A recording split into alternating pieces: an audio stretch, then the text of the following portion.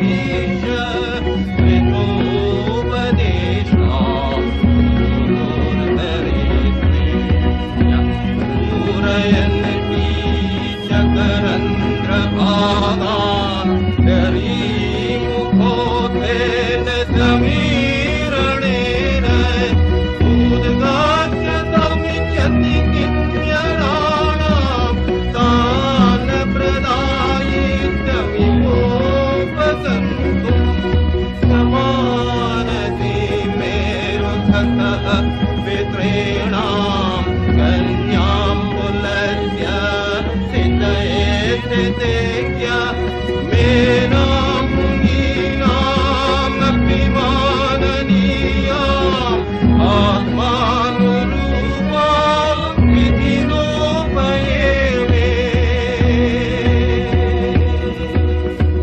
हिमालय की तीर्थ यात्रा को जाने का मेरा कोई इरादा न था। लेकिन दिल की सच्ची प्यासी एक दिन मुझे उन कठिन पहाड़ी रास्तों की ओर खींच ले गई।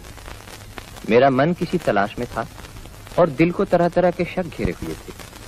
परमार्थ लाभ की आशा भी थी। इसीलिए मैं जगह जगह घूमता फिरा। बैसाख के महीने की कड़ी धूप में उत्तर पश्चिम भारत के रेल मार्ग से मैं निकल पड़ा। कितने ही शहर, कितने ही गाँव पीछे छूट गए। पीछे छूट गए कितने ही छोटे बड़े तीर्थ। प्राचीन भारत की व्यापक संस्कृति के जीते जागते चिन्ह। अंत में मैं जा पहुँचा हरिद्वार।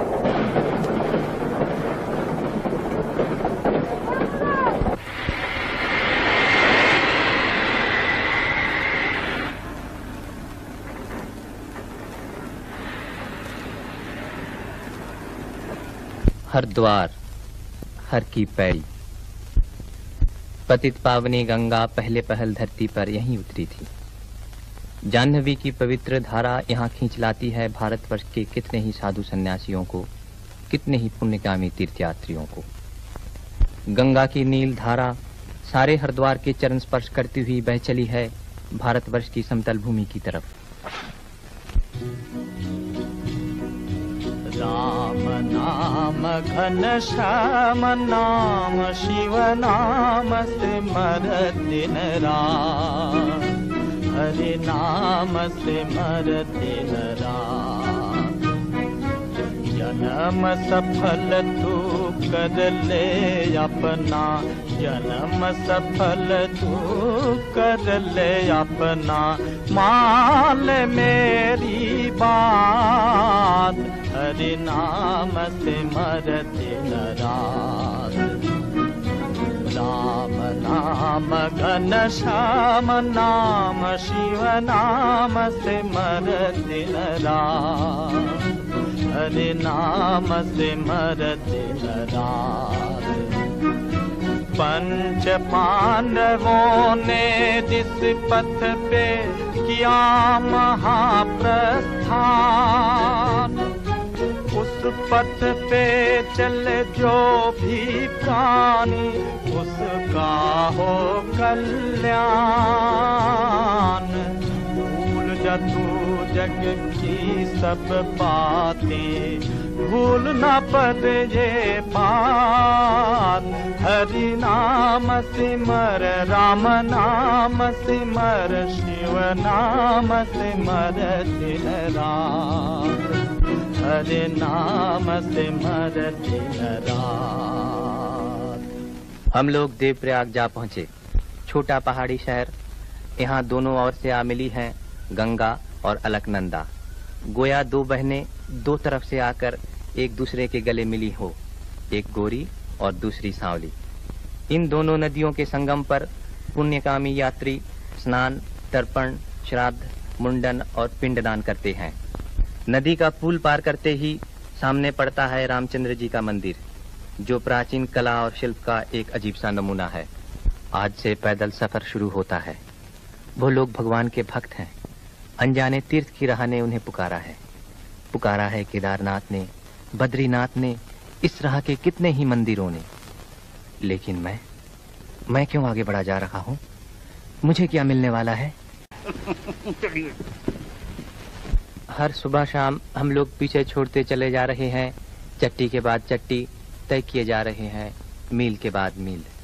चलते चलते थक गए। दिल उदास हो गया। पैरों में दर्द होने लगा। सारा बदन रास्ते की धूल से भर गया। फिर भी रुकने से काम नहीं चलने का। किसी चट्टी पर आटा दाल खरीद कर खाते पकाते और किसी चट्टी पर पहुंचकर बिना खाए पिए अधमरे की तरह आँखें मुन कर पड़ रहे थे। इसी तरह दिन के बाद दिन, रात के बाद रात। थके मांदे शरीर का बोझ ढोए चले जा रहे आगे श्रीनगर में अस्पताल है। हम लोग चल पड़े बिल्व केदार के दर्शन करके, इसके बाद आता है पौड़ी का शहर श्रीनगर। रास्ता मुश्किल ज़रूर है, लेकिन चारों तरफ़ दिखाई देती है स्वर्ग की सी शोभा। गोया हम लोग पृथ्वी को पीछे छोड़कर नंदन कानन की ओर बड़े चले जा रहे हो। यूँ ही चलते चलते एक दिन रुद्रप्रयाग जा पहुँचे। तपलोक के बाद देवलोक में आ गए। रुद्रप्रयाग में अलकनंदा मिली है मंदाकिनी से। अब हम लोग आ पहुँचे हैं विशाल हिमालय की अनजानी गहराई। यहाँ से बहुत नीचे है संगम स्थान। दोनों नदियों के मिलन से जलराशि का उछल प्रवाह दिखाई दे रहा। मंदाकिनी के किनारे किनारे चला गया है हमारा रास्ता। एक ही गंगा की अलग अलग धाराएँ, कभी अलकनंदा, कभी मंदाकिनी। कहीं पर नदी उतर आई है ब्रह्मलोक से देवलोक को छूती हुई बह चली है कहीं तपलोक से गुजरकर मृत्युलोक की तरफ़। नीचे की चढ़ाई है जरा संभल के। हम लोग भीरी चट्टी का पुल पार करके चल पड़े।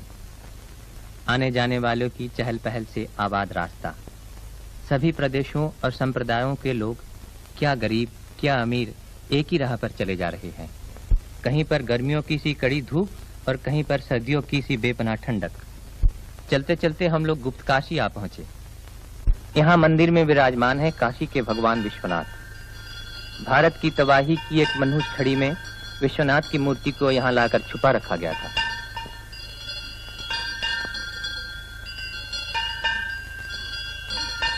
महीखंडा चट्टी के सामने का झूला। इस पर देवी पार्वती झूला करती थी। यात्री लोग इस पर झूलना पूर्ण समझते हैं। मंदिर में महिषासुर मर्दिनी के दर्शन करके ऐसा लगा, गोया ये मार्ग शिव भक्तों और शक्ति के पुजारियों का अनोखा संगम स्थान हो। जो लोग केदारनाथ के रास्ते का खतरा बर्दाश्त नहीं कर सकते उनको सीधे इस रास्ते बद्रीनाथ जाना चाहिए क्योंकि ये रास्ता बड़ा ही खतरनाक है। क्या? केदारनाथ का रास्ता इससे भी ज़्यादा तकलीफ़ का है अमर सिंह? हम्म बहुत ज़्यादा तकलीफ़ का है। जय बाबा केदारनाथ। मैया रे मैया ये कौन सड़क में लाके उतार दिया रे? अरे खोल खोल पहले रस्सी खोल रस्सी को आए मैया।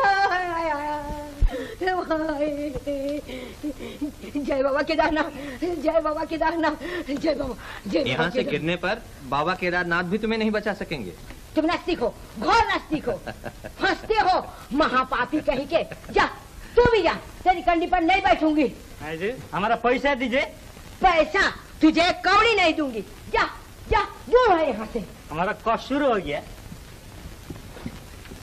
थके मांदे यात्रियों का दल धीरे धीरे चला जा रहा है। बीते हुए दिनों की याद जैसे खोसी गई है, पीछे छूटे हुए पर्वतों और जंगलों में। आड़ी तिरछी राहें, झरनों का झरझर शब्द, पंछियों की चहचहाहट, इन्हीं सब में से गुजरते हुए हम जा खड़े हुए त्रियुगी नारायण के चरणों में। मंदिर के बाहर का अंश ठंडा है बर्फ़ की तरह, लेकिन अंदर जल रही है सत्ययुग के समय से कभी न बुझने वाली अखंड ज्योत।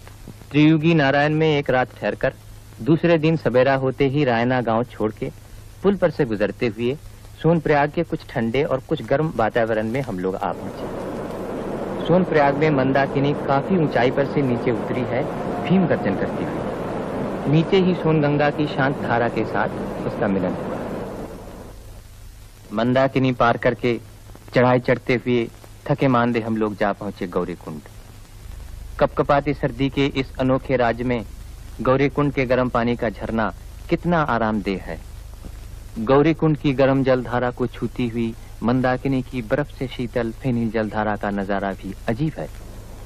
नदी की दोनों शाखाएँ एक होकर बह चली है, नीचे की ओर तांडव नृत्य करती हुई। दूर ब्रह्मलोक से उतर आई है मंदाकिनी, बह चली है देवलोक की तरफ़, थिरकती, नाचती, उछलती, गरजती